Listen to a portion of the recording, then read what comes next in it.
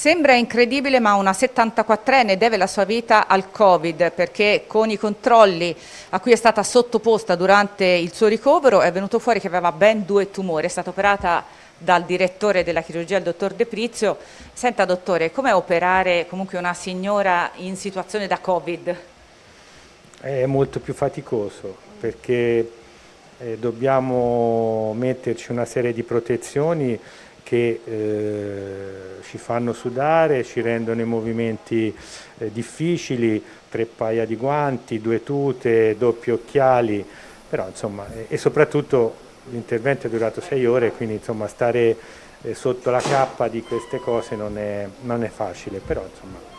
ce l'abbiamo fatta. Grazie anche alla, al gruppo del, delle malattie infettive, al dottor Tacconi che fin dall'inizio, quando lei era ricoverata lì per la sua malattia, ha intuito che c'era qualcosa che non, che non tornava e poi è stato complesso scegliere il momento dell'intervento perché operarla subito forse eh, si poteva rischiare qualcosa per il Covid, operarla troppo tardi con un tumore che si era già perforato e aveva già una peritonite poteva costarle la vita, quindi insomma con Tacconi abbiamo trovato un timing giusto e credo che insomma ce l'abbiamo fatta collaborando a trovare la soluzione per la signora. Poi si è fatto un grosso intervento, la signora per ora